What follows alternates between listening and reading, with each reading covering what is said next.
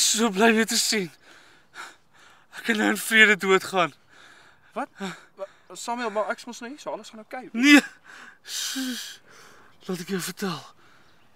Wag, Samuel, dink jy nou ons moet net jou by die hospitaal of iets kry nie want jy is regtig was so erg. Dit was so. Laat ek jou vertel. Ek wou net bestuur het. Ek wou net bestuur. Dis daai liggie. Engine liggie. En toe die rook. Ek het gestop. Toe klim ek uit. Ek het water uit my kattebak gekry. En dit was spaarsamig. Dit is spaarsamig gebruik. En ek het gewag. Ek sê op my foon net wag. En toe sit ek maar hier en wag dat iemand my kry. Dit was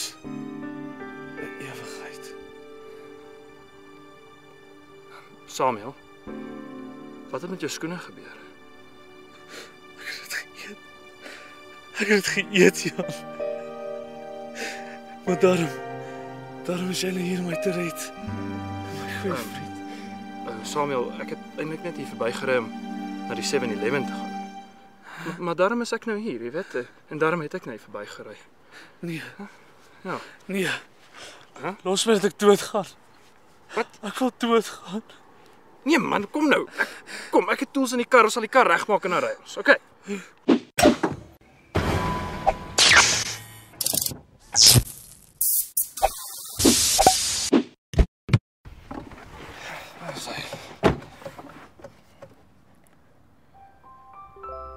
Ag, Samuel. Ek is regtig jammer oor wat met jou gebeur het. Die lewe is soms nie regverdig nie. Moeilik. En jy kan nie dat jy weet 'n paar dae sonder water en goed jou wen nie. Dink dit waardeur ons al saam was, man.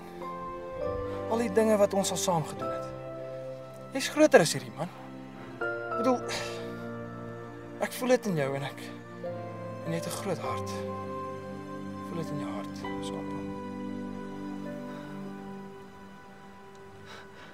Dink jy daar so, Jan? Definitief Samuel. Haai my vriend. Ek weet nie wat ek sal jou sê doen nie. Maar wat ek sê, wat kan ons doen as ons eers terug in daai dorp is? 'n Yskoue bier. Maar nog beter, wat van 'n yskoue bier en 'n steak. St- Steek. Klink goed, né? Nee. Oh, Kom aan Samuel, kom ons fok hierdie pad man. Ons gaan huis toe. weet jy wat? Fok hierdie fucking kakpad. Fok hom, Fok hom hard, Kom fok ons hom. Fok hier weg man. Daar's Fok.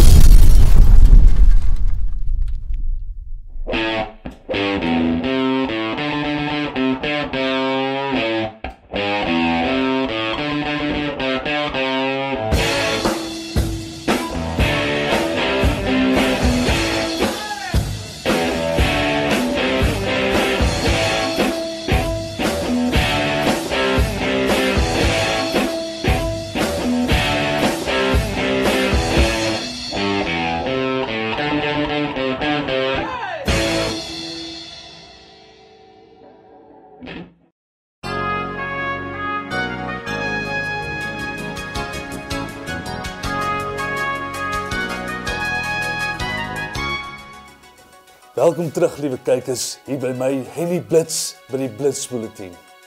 Soos gewoonlik bring ons vir julle die mees warmste en omstrede onderwerpe waarmee ons moet dag tot dag te doen het in hierdie land. Soos boemelaars. Is hulle onskuldige slagoffers van ons samelewing of peste wat elke dag ons parkies oorneem? Is ons kinders nog veilig in hierdie land? Ek weet nie, maar dis kom Sebastian het ons beste veldaanbieder in hierdie land wat vir ons vanaand 'n kykie sal gee. Na jou Sebastian. Hey nee, ek is hier in Johan Swanepoel Parkie vandag en uh, soos jy kan sien is hier nie so baie kinders nie. Dit is 'n Saterdag en dis een van die gewildste parkies in Pretoria. Maar nie meer nie. Ons het gehoor dat daar deesdae boemelaars in die parkie is. Weet jy wat, daar's nou 'n boemelaar nou en ek dink kom ons gaan vra wat maak hy. Kom, meneer. Meneer, ekskuus tog, wat, wat maak jy hierso? Het, het jy werk? Wat wat Ja, ek, ek oom ek maak die parkie skoon. Maar kyk gou hier meneer, kan jy kan jy sien dat hierso is nie baie Nee. kinders meer in die parkie nie. Nee, so kinders, ek ek ek kyk mooi na hulle. Ek weet ek kort nie geld jong. Ek ek, ek arm man, ek ek moet spaar vir die die brood en die botter en die die die studies wat ek nog wil doen eendag. Nee, jy sien, hierdie is 'n uh, goeie voorbeeld van 'n arm wit Suid-Afrikaner. Kyk mooi na hom. Maar ek verstaan nie wat wat wat doen jou familie? Weet hulle wat jy sê? Want jy besef hulle sien jou nou op die TV. Kyk kyk hoe kyk hoe lyk jy? Nee, meneer, nee, my familie, ek weet hulle besef dit, maar ek doen 'n goeie ding hierso vandag. Eh, Wat, wat doen jy? Wat kan jy kyk hoe wat doen jy? Nee, ek werk oom. Ek ek werk die mense. Wat- Hulle gee vir my die geld en uh, ek doen goed vir myself. Mense is bly met wat ek doen. Weet jy wat ek dink wat jy doen hè is weet jy wat jy steel. Wil hierdie jy ja? Vat daai. Nee, oom, vat daai ek- ja. ek sal nooit steel nie. ja? Nee, ek kom vat daai. Maar ek wil net sê met myself vat. Weet jy wat? Sulke goed maak my kwaad.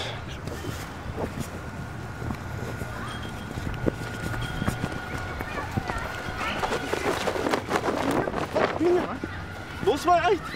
Los my. Nou is om wie moet ek slaap jy om 'n koppie koffie te kry? Of is dit nou 'n sonde? Jy wil daar staan, jy jou handjies ons nie rond nie, bring vir my koffie.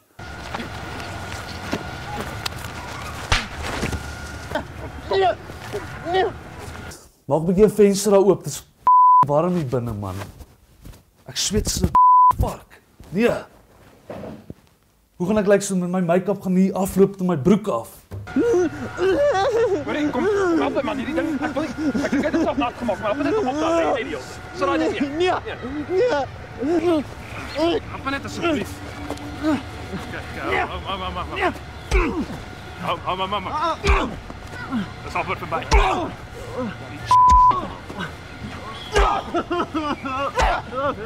Hou, hou. Hierdie is Sebastian van Johan Swanepoel Park in Pretoria. Terug na jou hè nie? En soos gewoonlik, vol aksie en pret met Sebastian. Nou na die weer. Tot 'n volgende keer.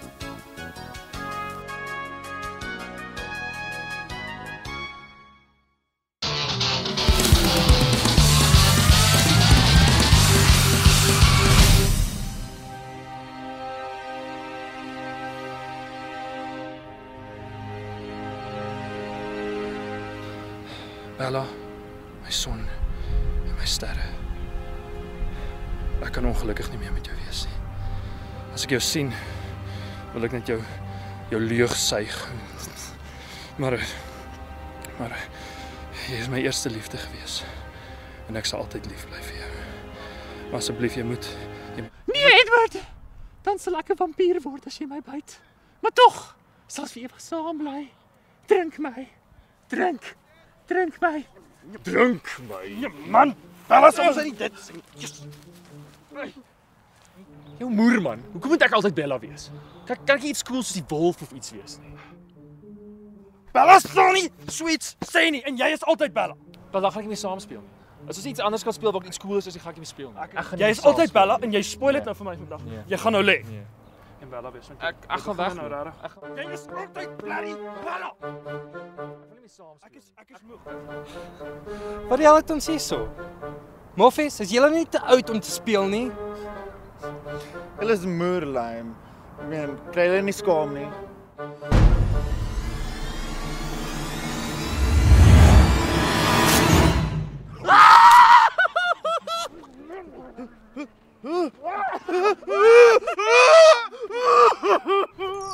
Nee, nee, nee. Twilight Vampire sit nie sulke tande nie. Nee. Ek weet nie, kom ons speel 'n bietjie iets anders. Wat van 'n bietjie Harry Potter of iets soos dit? O, oh, okay, ek hou so baie daarvan as jy 'n Hermione is. Ooh. Hoekom moet ek altyd die meisie wees?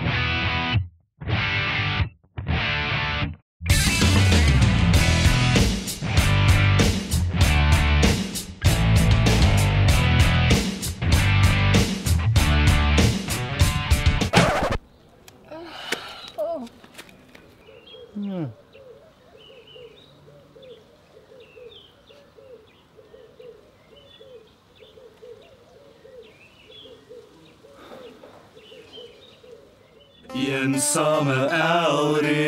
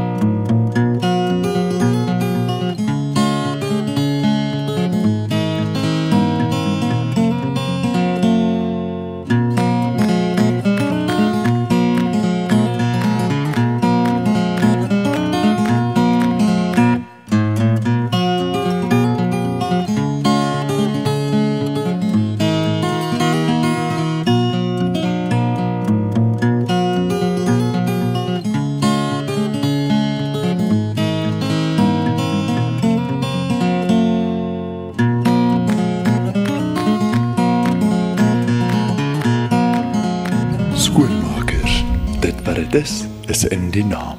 En onthou, ons is altyd daar vir jou.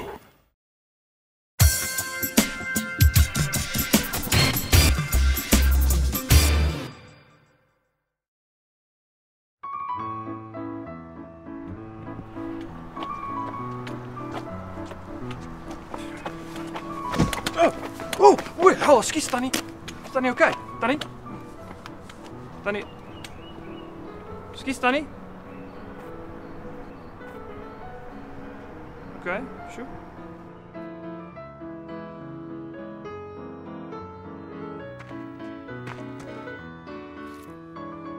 Ai, shame, die arme ou Tannie sy het al R200 verloor.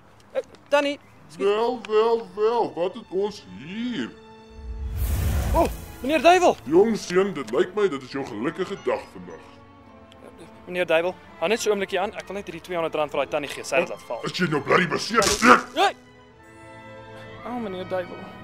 Onthou jy nie wat jou ouers jou geleer het nie? O oh, nee, ek jammer meneer Duiwel, ek onthou nie regtig. Optel goed is hou goed. Onthou jy nie? O, oh, ek weet nie nee, nee meneer Duiwel, ek dink nie hulle het vir my so iets geleer nie. O, o, o. Okay, man. Maar dink net aan al die lekker medisyne wat jy kan koop. Al daai lekker aaptwak wat jy kan rook en daai poeier wat jy in jou neus in kan optrek en dan daai pilletjies wat jou so lekker laat voel, hè? Kom aan man, daai vroue sy's mos nou oud. Sy gaan nie daai 200 rand mis. Dink dink dat hom is. Kom aan man, hè? Dis mos die regte ding om te doen. O, oh, o. Oh. Haai mevrou Engel. Luister, die skattebal, dis meneer Engel. Ag, wie wie is hier so? Hey. Hey jy, ek was eers hier so, hoor. Jy hou nou daai lippies van jou toe, want pappa gaan nie eers praat, hoor? Hm. Luister, skattebal, moenie vir daai slegte invloed luister nie. Hy wil jou soos net by een of ander lekker pad aflei of verkeerde dinge. Maar in elk geval, daai tannie kort miskien daai geld vir haar medisyne. En dink hoe dankbaar sal sy wees as jy daai geld haar terug en sy kan dit koop. Huh? Ek weet nie, ek sou nog bly wees. En miskien as jy daai geld haar teruggee, gee sy vir jou sy stokkie. Mm. Hey, hey. Ja. Ek het jou ek stokkie net hier. Ja, baie klein suigstokkie. Hey. Ek sal vir jou bliksem. Kom eens op. Soos daai keer wat jy die hemel uitgebliksem het. Fucking hell, seun. Daar kom hy ding. Vinnig steek hy 200 rand weg nou. Wat die fuck? Tannie, wat? Wat die fuck? Dis was my geld daai. My 200 rand noot. Wat dink jy ek het dit Is jy opge- bly pickpocket? Ek wou dit nou-nou vir tannie. Nou hoor nou, niks woorde nie. Niks. Jou fucking Ek dief. ek gaan net loop. Wat so?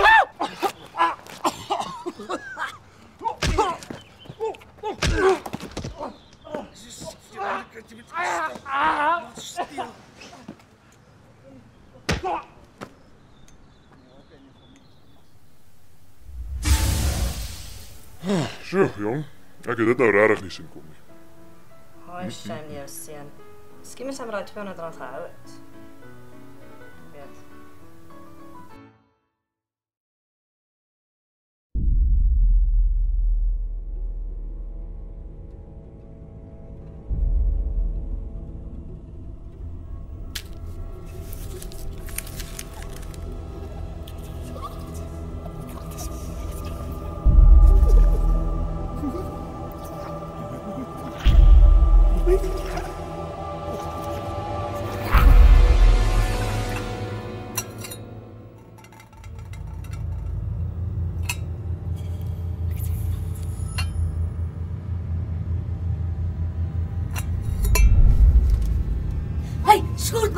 Ek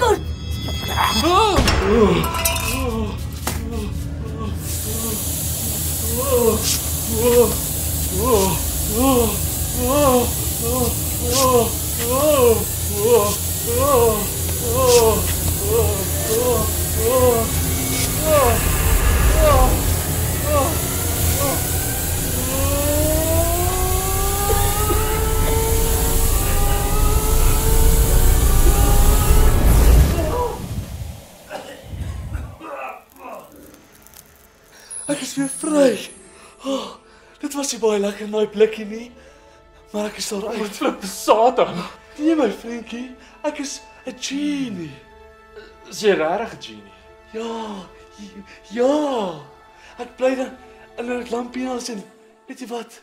Ek kan vir jou een wens gee. Maar moet 'n genie nie 3 wense gee nie. Het ek gesê een? Ja, Of ek gesê 3? Maar wat ek het dit gesê, dit moet 3 wense wees. kan dit een, 3. Nee, een. net maar jy een. kan Nee. jy kan een wens kry. Nie net een nie. Ek kan nie dit doen nie.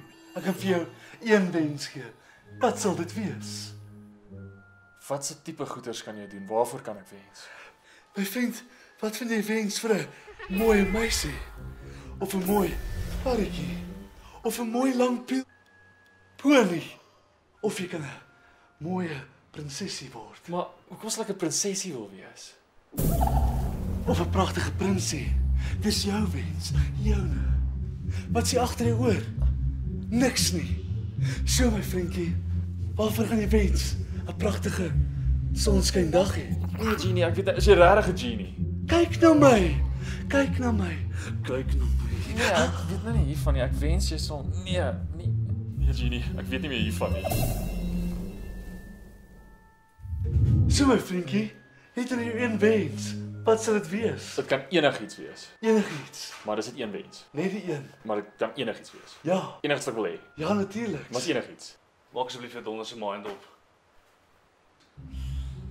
Mm, ah. Mm,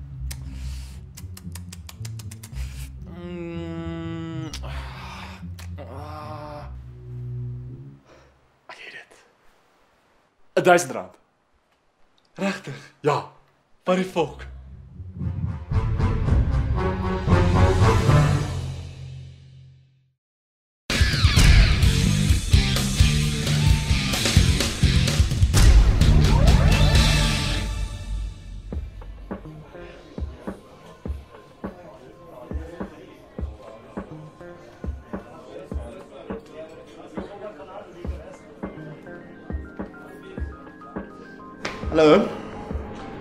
Maar uh, ek is bevrees dat uh jy my 'n drink skuld. Waarvan praat jy? Um want ek het ek het myne laat val. Die uh ek het jou skoonheid gesien van die hemel. Ag, ek weet jy ek jammer. Ek ek's regtig nie gewoond aan hierdie tipe goed nie en ek het net eintlik hiernatoe gekom om vir jou te sê dat jy regtig mooi lyk. En baie oulik lyk. En uh, ek jammer. Jammer ek het jou gepla. Ek, ek sal liewer gaan. So is ek so mooi dat jy nie aan 'n behoorlike pick-up line kan dink nie. Wat van ons begin van voor af?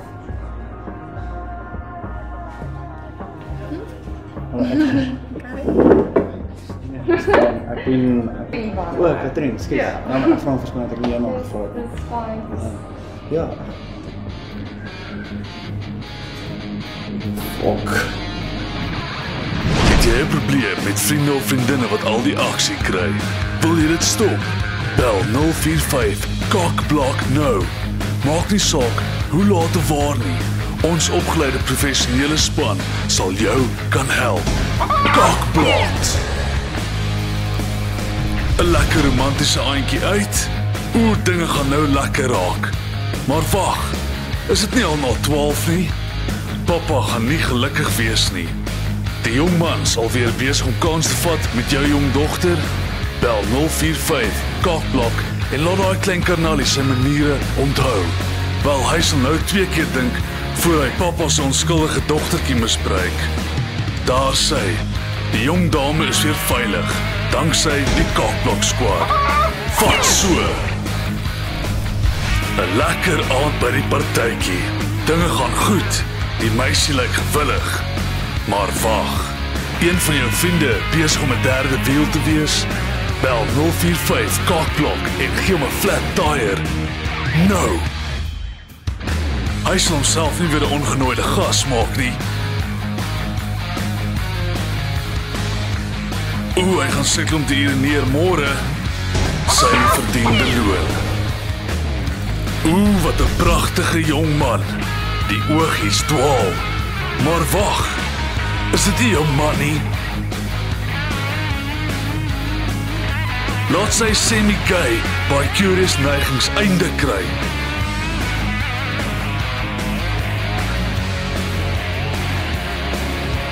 Bel ons nou 045 Kokblok en ons sal die lig laat sien. Die lig van ons vuiste. Bliksem. Ons sal hom terugsit op die stryd en narrow. Hulle verbode liefde sal gestop word. Daar steek ons weer 'n stokkie vir jou man. Sy stokkie in 'n ander man steek. Nee, dis net nie reg nie. Sy les sal op die harde manier geleer word. Die pynlike manier, die kakblok manier. Die voorbeeld. Hulle voel geen pyn. Hulle voel geen emosie. Hulle word opgelei 24 ure 'n dag om jou by te staan. Niks sal in hul pad staan om te keer dat er 'n pokker in die pad van jou geluk staan. Onthou, vir enig van jou kakblok benodighede, bel 045 kakblok en ons sal jou kan help. Ons professionele opgeleide span staan by en wag met opwinding vir u oproep. Top Block.